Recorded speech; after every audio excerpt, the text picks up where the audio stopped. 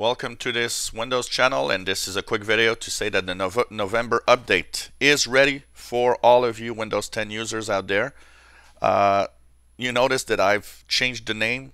It's because Microsoft issues this update as November update, but it is Threshold 2 or the fall update and it contains all of the uh, updates and modifications to Windows 10 since uh, July 29th. Now, go to your Windows Update, check for your updates regularly. If you don't see it right now, don't panic. It will eventually show up. Because of the high demand and the high volume of downloads, Microsoft is sending it out in waves. So some of you will see it, some of you will not see it right away. But if you look through today, today, and tomorrow, you should see it appear at some point. Here, I've tried it. Uh, I've not seen it yet, so it's not visible yet in my updates.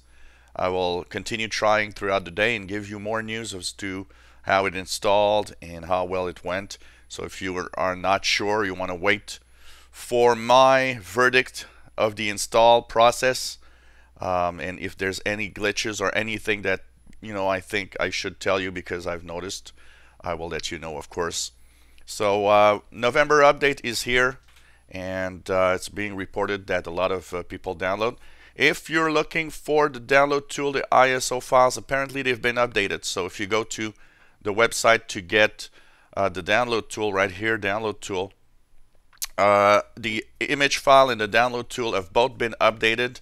Um, according to TechRadar, uh, the image file is um, apparently at 10586 which shows that it was updated meaning that if you do a clean install the image files are already downloaded or on the website. I'll be posting of course the link to this page on my uh, description below the video. And so you can click uh, the download tool now or if you haven't updated yet to Windows 10 you can click the upgrade now button and uh, see what it does. As for me I am still waiting for it to appear in my updates. And of course I will come back at you with all the latest information as we are going through this update today. If you enjoy my videos, why not subscribe to my channel? You'll be informed when new videos are online. If you have any comments, questions, problems, let us know and uh, hopefully you downloading the update and it's going well.